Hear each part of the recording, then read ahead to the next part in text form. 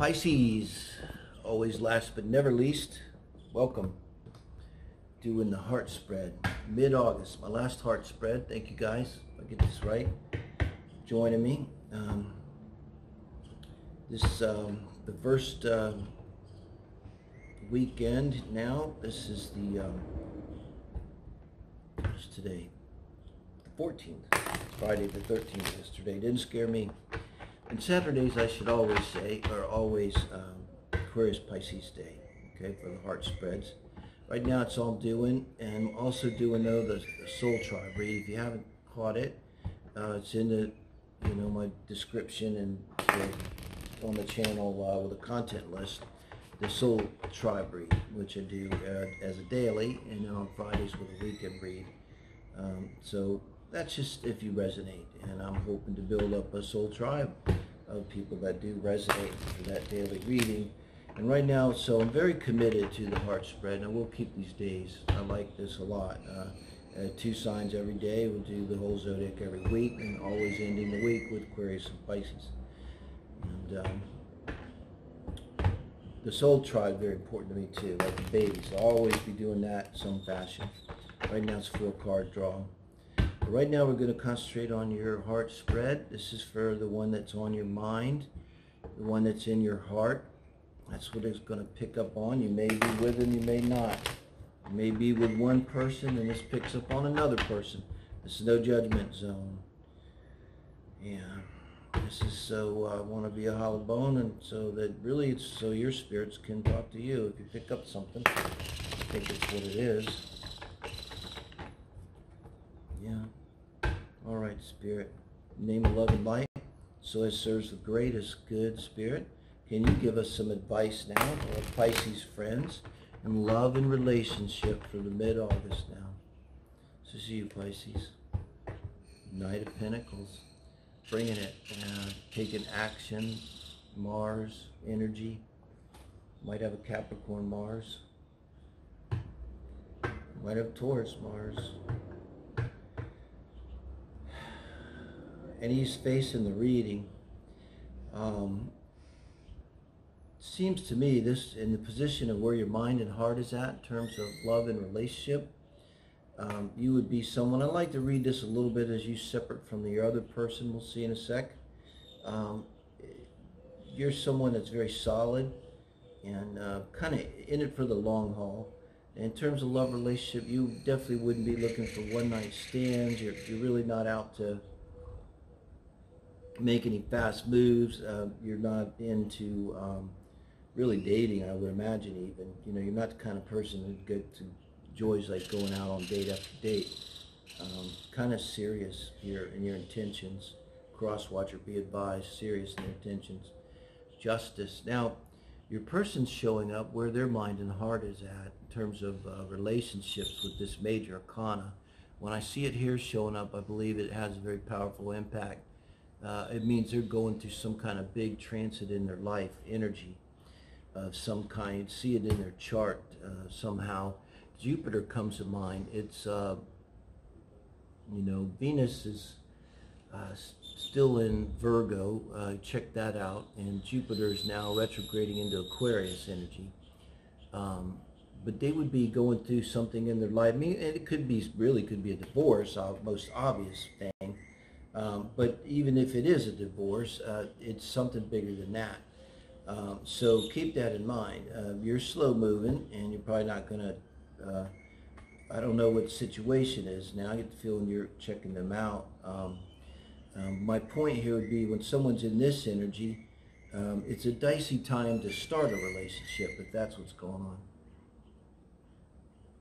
Because they, they may or may not, she's blindfolded right now, receiving justice uh, drawn to justice. So they, they may not know uh, exactly uh, how they're going to be, and I don't read the bottom of the deck in this, uh, how they're going to be when this is over. Um, but I love this card with the yin yang down at the bottom. Yeah. But they're seeking balance too, comes to mind. And the Knight of Pentacles is balance.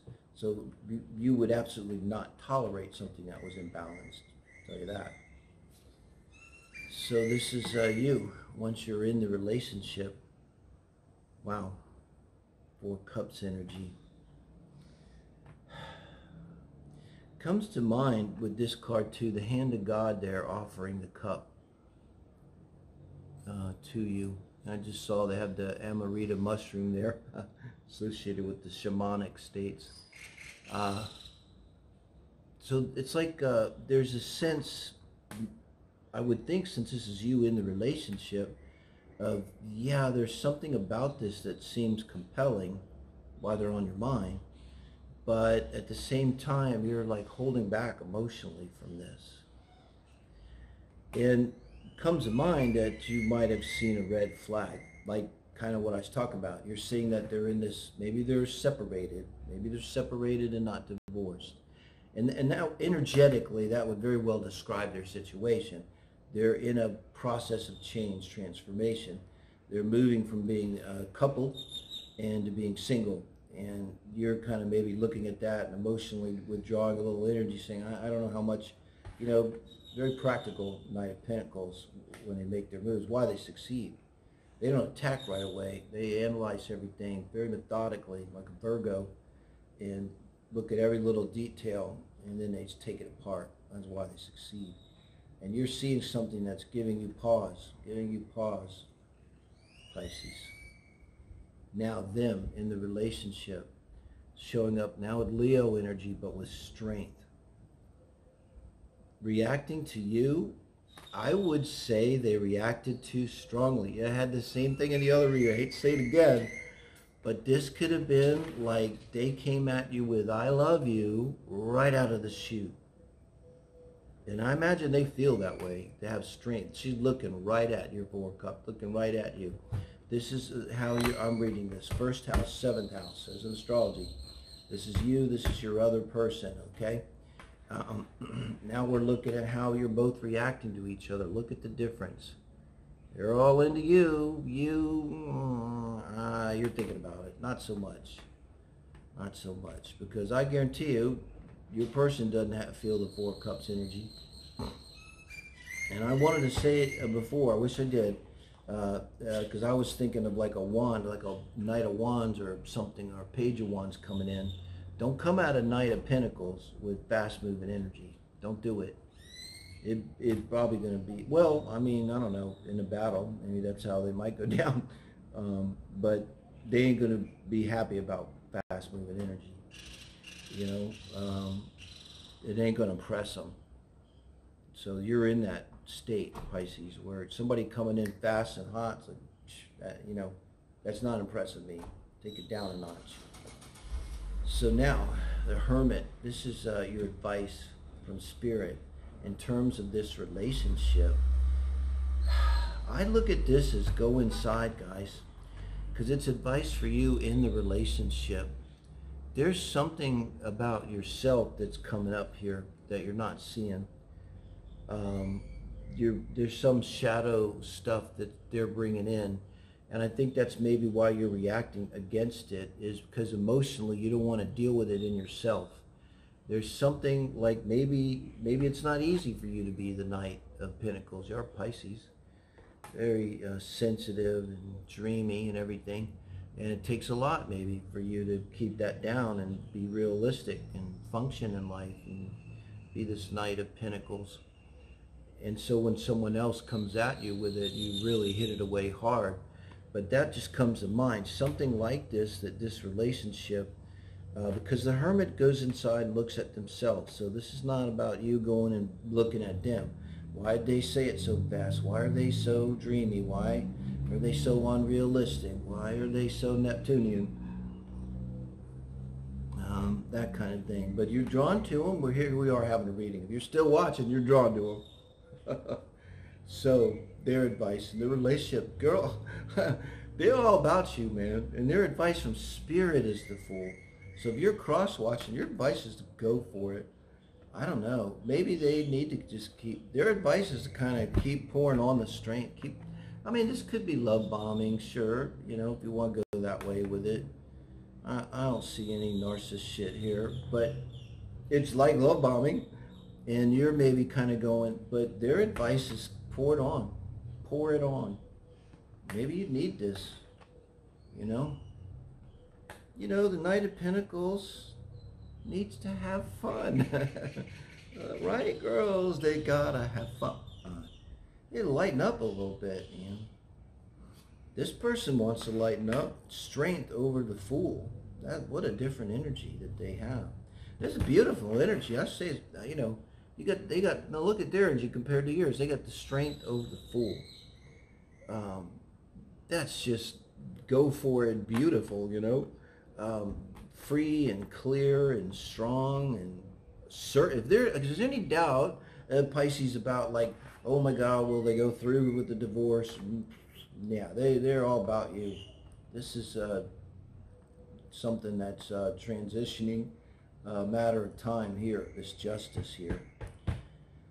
Let's see what the advice is for the relationship as a whole. Temperance, the Sag card. Okay, guys, this is the advice for your relationship as a whole. And this is telling both of you, if I was a marriage counselor, it'd be you and you. Take it down a notch, relax, give it a minute, everything's cool. This is why Sagittarius are cool. Sagittarius card. It's like you're patient because everything's cool. So let me ask you this if you stop and just like think just like do you guys have fun together? Is it great making love? Are you attracted to them? When you move away from them do you have a good feeling still? Uh, because that's that's what temperance is about. You're patient. The only reason you're patient because everything's okay. There's no problems. You got enough sleep you got enough money you got enough food you got enough time to recreate you got enough love. And so everything's cool. So I think it's kind of like, it's corny, but count your blessings, not your problems. That's what this is saying. Count your blessings, not your problems. Title, count your blessings, not your problems. Pisces, gotta remember that one. I never remember it. Maybe. the Knight of Cups. What was I saying about a Knight? Don't show up with no Knight of Wands. But a Knight of Cups will do. And this Knight of Cups is facing right towards this strength. You're going to give in. I was going to say, I mean, love bombing it may be, but you need it. And your advice, cross watchers, keep it coming.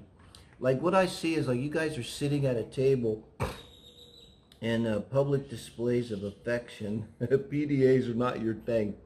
And they're like in your lap and or you're in there, they're pulling you onto their lap and they're in your nuzzling you and kissing you and you're kind of like, and they'll just keep it coming, keep it coming. And that's just symbolic about these walls being up, this Knight of Pentacles. And they're gonna they're gonna beat your walls down uh, with love and affection, and you're eventually gonna give in. And your Knight of Pentacles uh, becomes a Knight of Cups. and I love it. It's you. You're heading right in. So as the heart spread, and that's the outcome. And it's a very beautiful heart spread, actually. Um, this person knows you. It doesn't matter that they're still going through this process, and it doesn't matter. Uh, you know this. It's all about heart. It's all about how you feel, because ultimately, goddamn, you're feeling it. They they finally break open your heart. Hey, welcome to Lionsgate. Taurus energy in Capricorn. What's uh, what's going on in Aquarius now? Uh, this Uranus Saturn thing. It's breaking up things and opening up things. Uranus wants to free us and open us maybe to love. Great reading, guys. Thank you, Pisces.